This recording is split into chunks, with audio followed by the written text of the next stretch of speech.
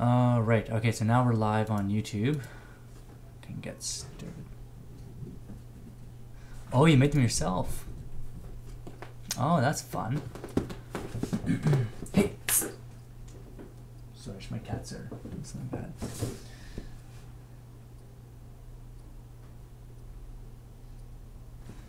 Okay, check out this sweet battle.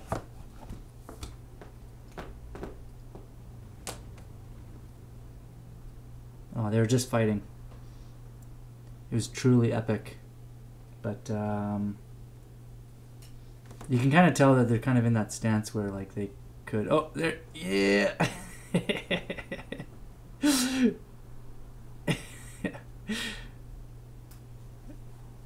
yeah.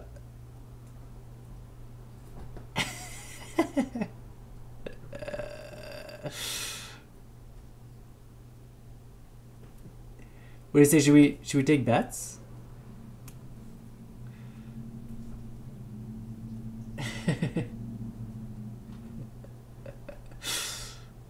oh, it's not. It's it. It's cutting out. Oh, bummer. Could um, watch it on YouTube, I suppose.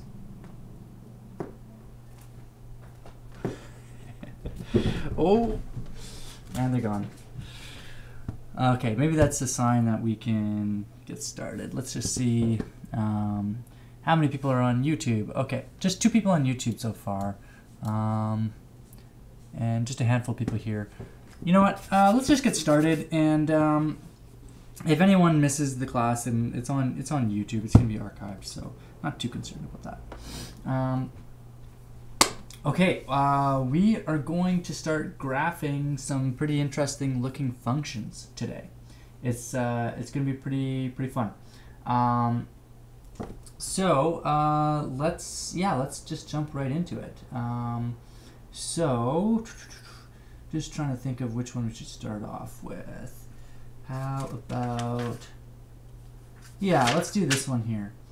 Let's do Okay, we're gonna follow this example pretty closely. We're gonna we're gonna be working on page 372. So if, if you want to follow along, you can. You obviously don't have to. I'm gonna be working on it in front of you as we speak. But um, uh, yeah, we'll. Uh, if, if you want to, I mean, the nice thing about having the page number too is that if, if there's one thing that you didn't understand, um, like if you're looking back on this, especially if, if you're not, oops, if you're not on, um, Discord right now and, and, and you're not uh, and you're watching the video when it's archived and you can't actually ask a question live, you can always go back and sort of read through it and they do a pretty good job of, of explaining their thinking. So um, this is page page 372.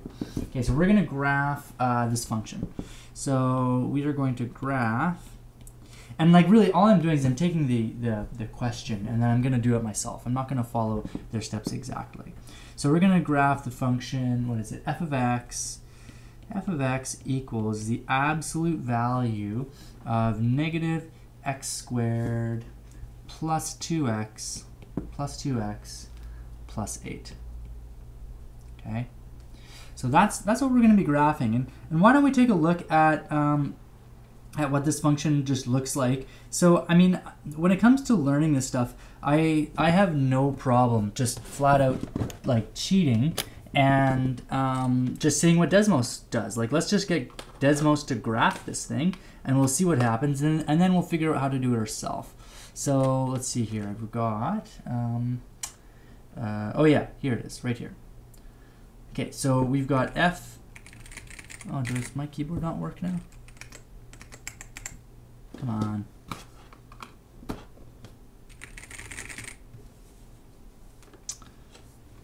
Yeah, totally. Come on. Well, I guess. Is it because I'm not. Oh, yeah, here it is. Uh huh. Um, just the focus was on uh, the notebook, not the Desmos. Okay, so we got f of x equals uh, the absolute value of negative x squared uh, plus 2x plus 8. Okay, oops, and then we've got, we're to close that.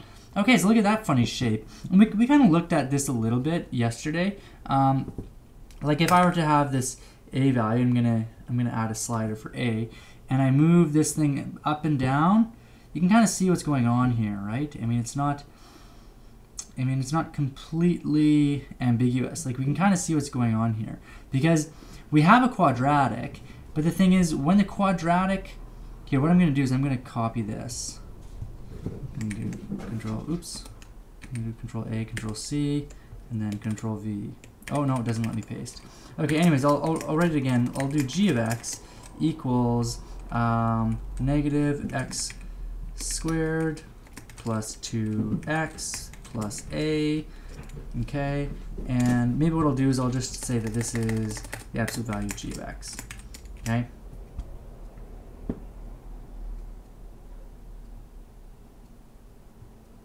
What's wrong with this? Which symbol? The blank symbol? Huh? Come on. More technical difficulties. Can you believe it? Uh, I mean, I did this yesterday, right? Anyways, the whole idea here is that we have a parabola, right? So let's let's just get out of there. So we've got this parabola. Um, so here's here's my my uh, my coordinate plane, and let's say I've got this nice looking parabola like this, but the problem is some of the parabola is negative, right? We've got some negative values. So what happens is when we take the absolute value of it, those those values don't stay negative. They become positive. So what happens is we get this little reflection like this. And then this is what our absolute value function looks like. So our process, the process that we have for graphing these things is to graph the function without the absolute value signs and anything that is below the x-axis where the values would be negative what we're going to do is just reflect it. So reflect it so then it, it kind of bounces uh, as if you're kind of like throwing it on the ground and it bounces back up, right? Okay, so let's go ahead and do that. Um, so I'm going to get rid of all this and I'm going to have to write this in um, a different form because I want to graph it. So let's write this in vertex form. Vertex form. So let's complete the square. So I'm going to do negative uh, x squared plus 2x plus 8. And I want to, uh, well, what do I want to do? I'm, I'm going to complete the square. So this is equal to, well, I'm going to divide that 2 in half. Or no, I'm going to factor out a negative 1. So let me factor out that negative 1 first. So I've got negative 1 times, um, that'll be x squared minus 2x plus 8. Okay, then I've got, uh, this is equal to negative 1 times x squared minus 2x. So I, I divide 2 by, by, by 2, so I take half of negative 2, that's negative 1. And then I add, or then I, I square that. So I've got plus 1. And then I subtract that again, and then I add 8. So we did this quite a bit about, uh, what was that, a month ago? Maybe less than a month ago. So just continuing on with this, negative 1 times x, and I'm gonna, now this is a, a, nice little perfect square, so I'll put this in brackets. This is gonna be x minus 1 squared, and then I've got plus 7, and then I will distribute this, so I've got negative 1 times x minus 1 squared minus 7. So there is my parabola. It has a stretch factor of negative 1, which means it's just a regular parabola, but it's upside down. And its vertex, or vertex, our vertex is at the point uh, 1, negative 7. And it, uh, wait, that's not right, is it? What's going on here? Um, I think I must have made a mistake here.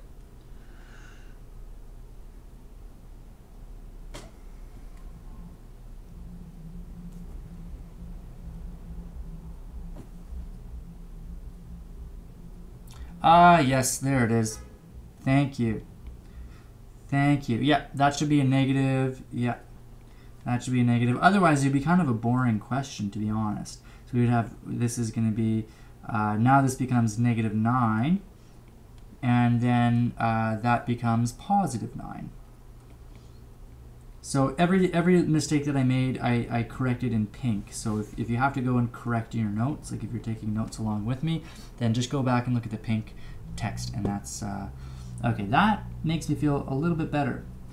Because if it was, if the, the vertex was in, in the negative portion, um, and it was also pointing down, then there, there wouldn't be any interesting sort of reflections or anything like that. Okay, so the vertex is at 1, 9, and then the stretch is negative 1, right? The stretch factor is negative 1.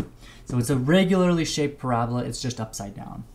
So let's go ahead and graph this function. Now remember that this is not what f of x is, right?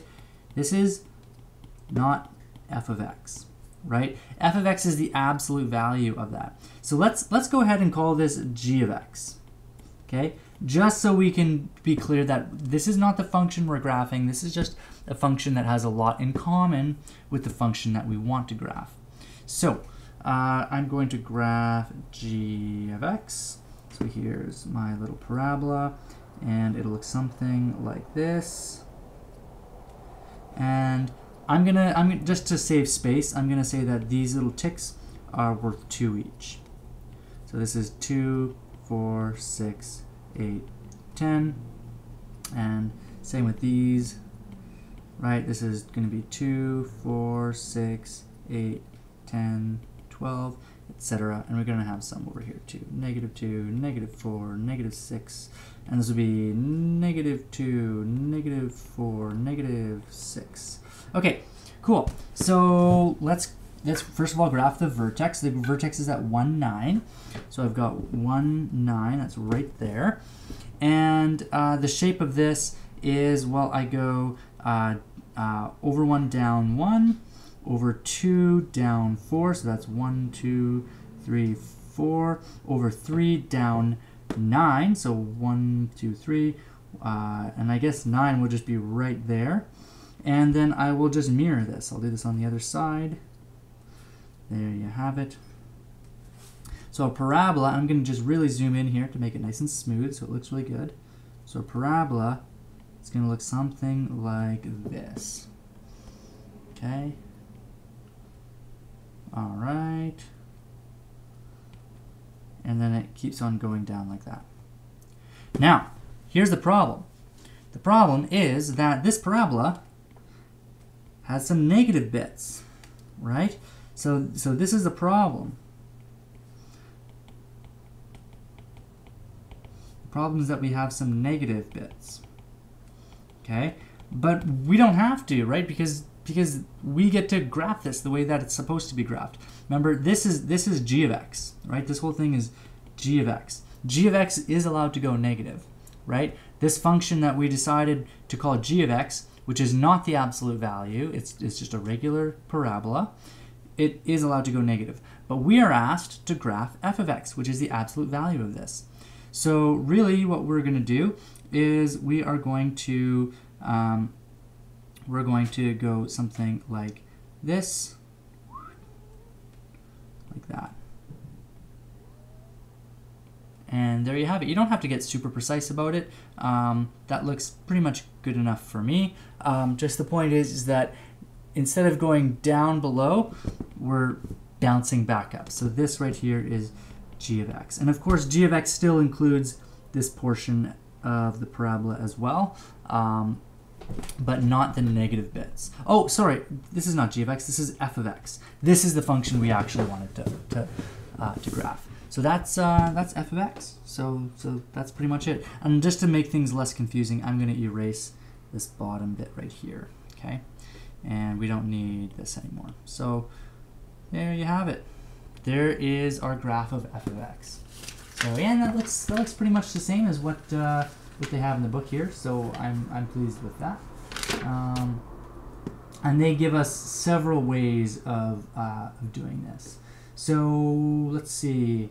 I'm gonna get you to do this function here. Okay, so now it's your turn to try this. So you try. Um, so I'm gonna get you to graph. Uh, let's see here. f of x equals the absolute value of x squared minus x minus 2. x squared minus x minus 2. Oops, it's a little too tall. There we go. Okay, x squared minus x minus 2. So give that one a shot. Um, I'm going to give you, how about four minutes to do that one. So we'll give you four minutes starting now. So go ahead and try to graph that one.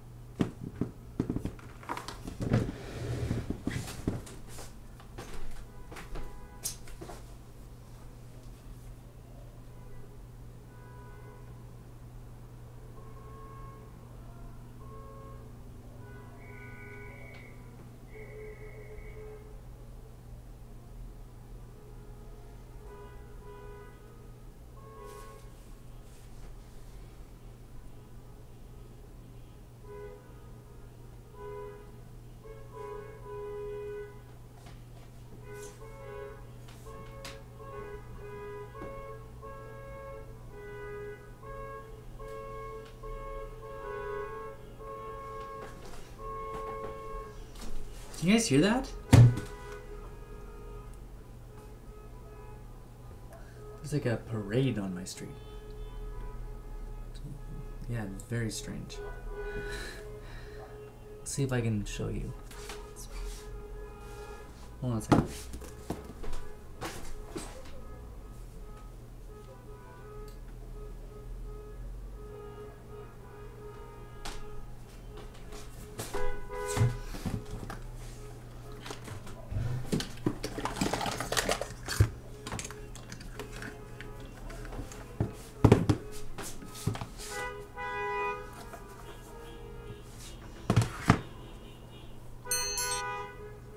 Up, but uh, check this out.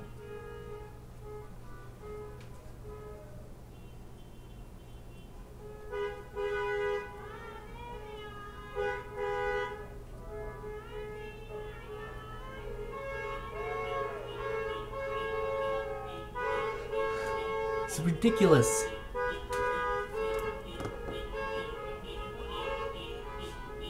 We miss you. Miss who?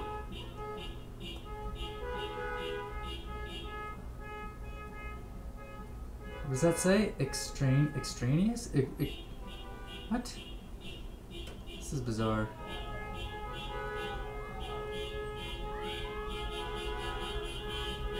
Oh yeah?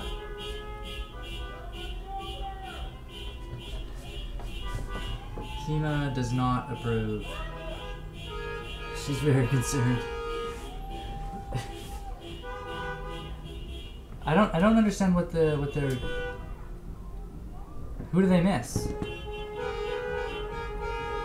Like me? I just don't understand what their deal is. Like are they protesting or are they celebrating? Or commiserating? I just don't get it. Huh. I miss you.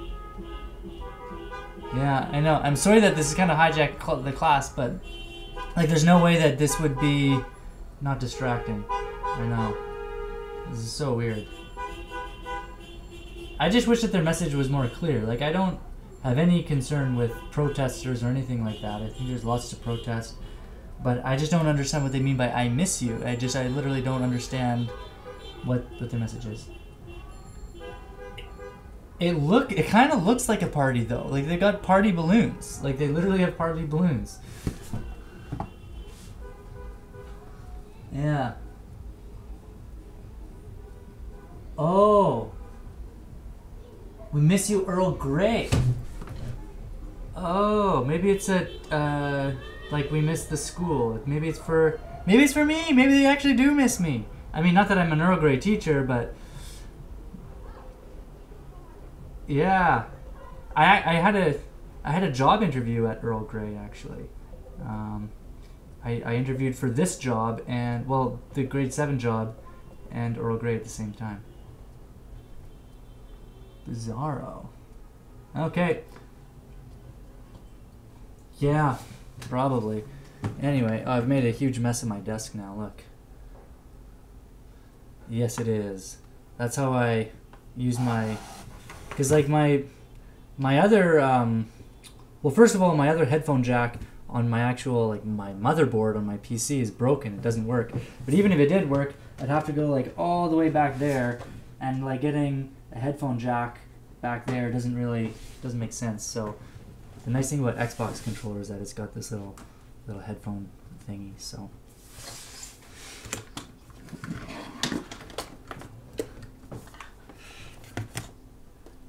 wait, the Switch doesn't have a headphone jack. Oh right, but not on not on the Pro controller. Mm. Wow, it's too bad. Do they? Can you at least use a Bluetooth uh, headset?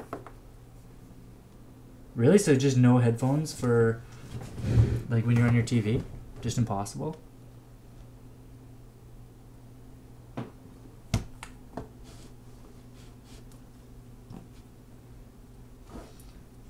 Wait, how could you do that though? Like what if your what if your TV is like far away from you?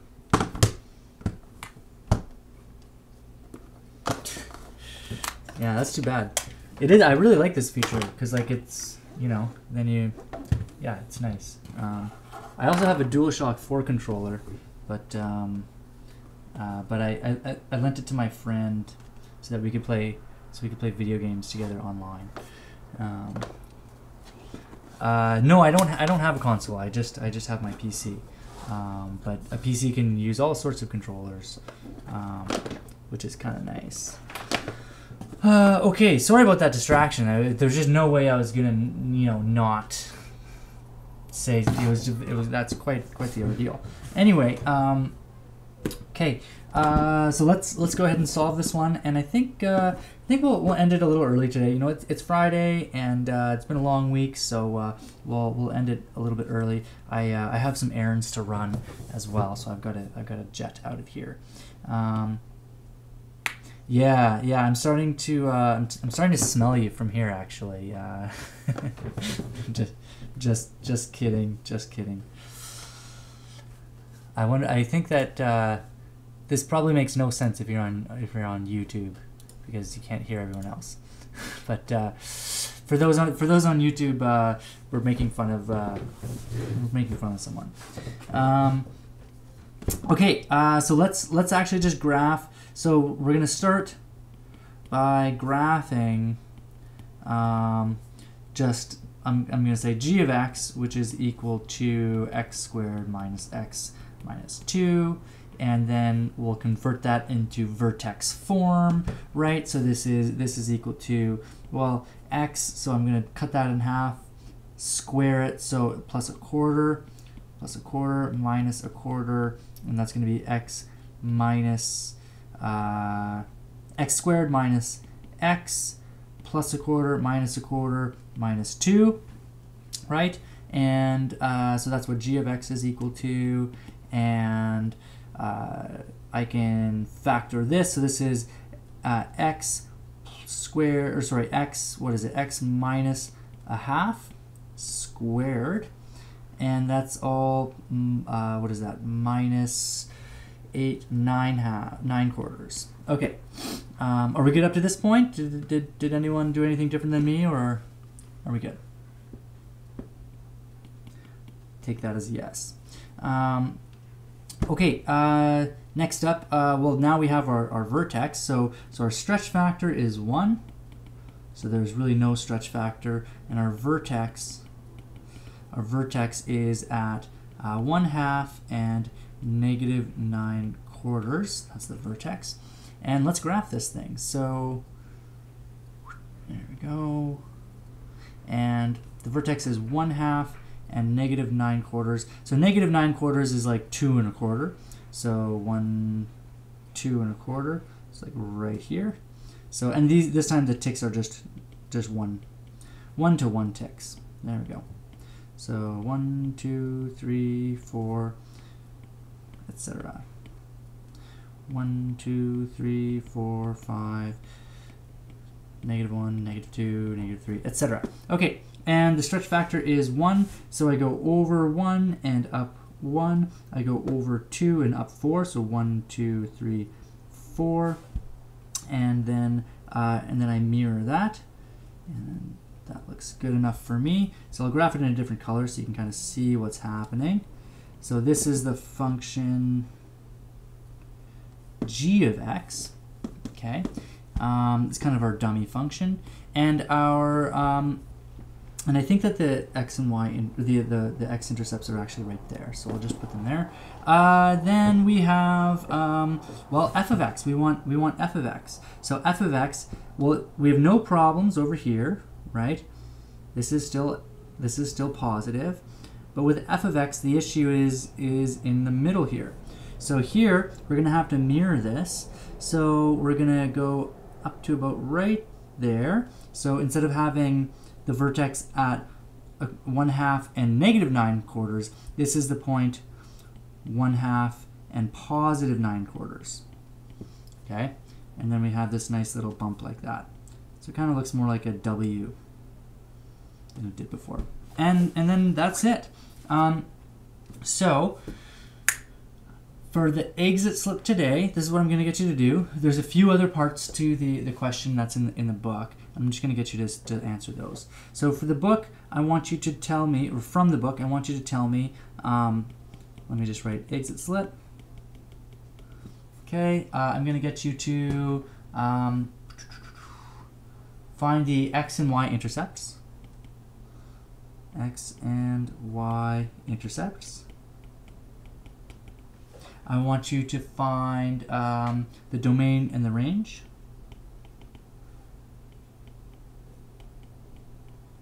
and uh, they ask us to express it as a piecewise function, but we're not there yet. So this is what I want you to do for the exit slip. So tell me the x and y intercepts of this.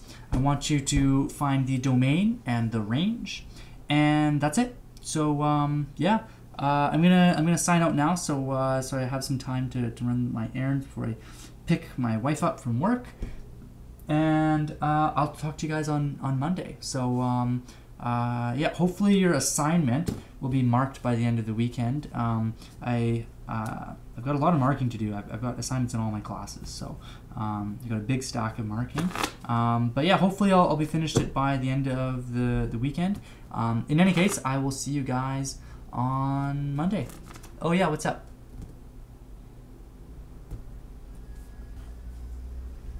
Yeah, just just on this one.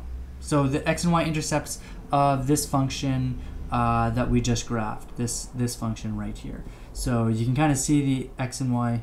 Yeah, you can see the x and y intercepts uh, here. Let me find a different color. How about purple? Here's the x intercepts. There's the y intercepts, but you have to find them, right? I mean, I just graphed them. They, it might be close to 2, but it might not be 2. You know what I mean? So tell me the x and y intercepts. Solve that with algebra. And then tell me the domain and the range of the absolute value function. So just to be clear, I'm not talking about the original function g that we found. Um, I'm talking about the absolute value function. So, so find the x and y intercepts, the domain, and the range of the function that we were just working with. Okay. All right. So yeah, have a good weekend, guys. I'll talk to you guys on Monday. Okay. Bye bye. Yeah, you too.